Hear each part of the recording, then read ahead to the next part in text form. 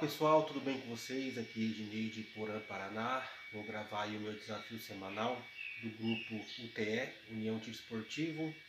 Meu ponto fixo, a janela, esse interruptor. Utilizarei a Gamo CFX, calibre 4,5, chumbinho rifle Fathead. Ficarei posicionado atrás desse obstáculo. Tá aí o zero da trena. Um, dois, três, quatro, cinco, seis, sete,